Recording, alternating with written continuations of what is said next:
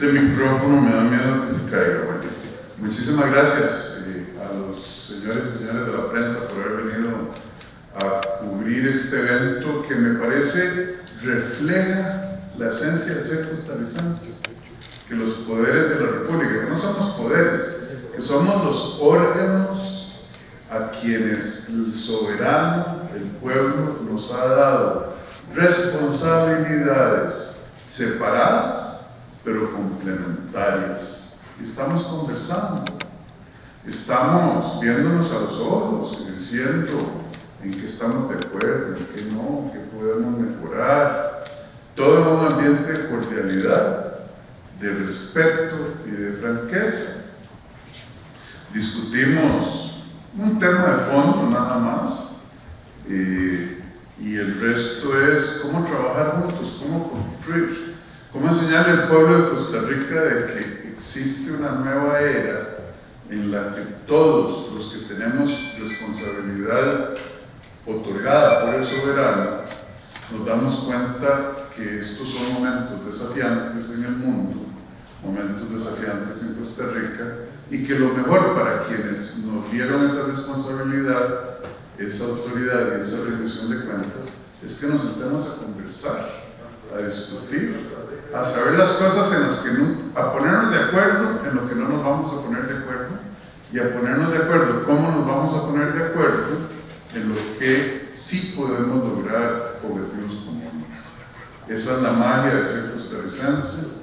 Yo le reitero al señor presidente del Congreso, a Rodrigo, a los jefes de fracción, eh, que estoy siempre disponible para venir aquí.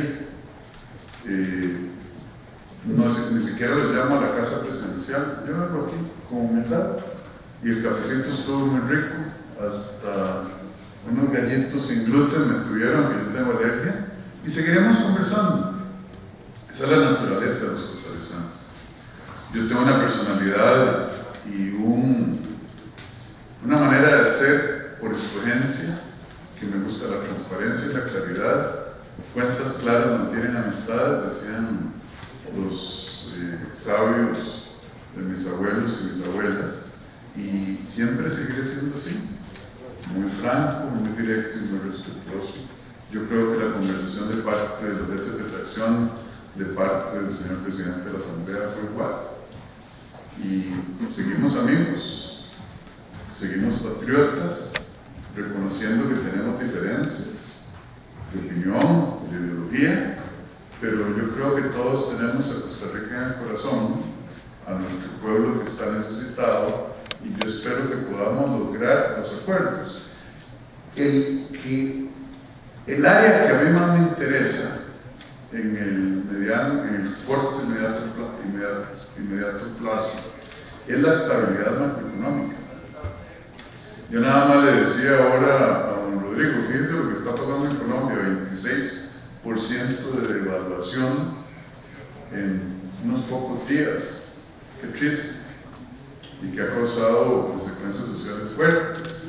A nosotros, gracias a Dios, mientras al mundo entero se le deprecian las monedas contra el dólar, a nosotros nos bajó de casi 700 pesos a nuestra hora, 6,20 y algo eso nos ayuda con la inflación, con los precios del petróleo.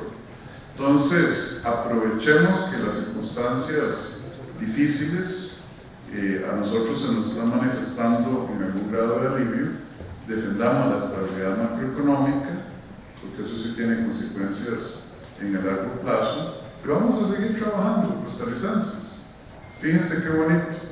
Aquí eh, una conversación cordial, franca, y constructiva es lo que debemos, lo que debe seguir prevaleciendo. Entonces, Rodrigo, una vez más, muchísimas gracias por la invitación.